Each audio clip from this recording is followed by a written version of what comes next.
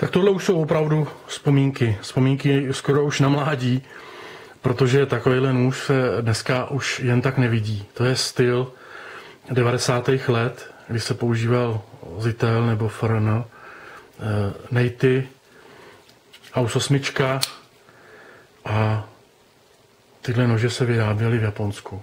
Seki Japan.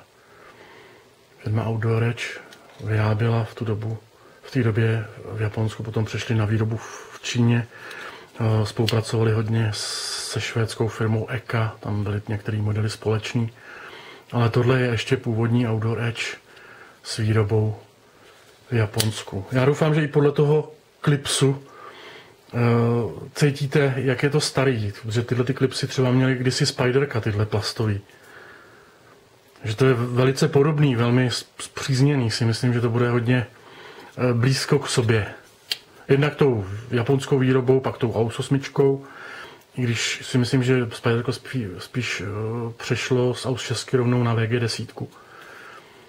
Ale jistý si nejsem.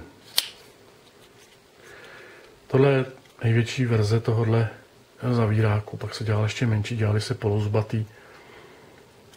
Všechno ještě eh, umíme sehnat. A je to opravdu hezký vzpomínání. Já jsem si vzpomněl i na svůj kabar, který teda je vyrobený později na, na 4070 velkého rozvěra.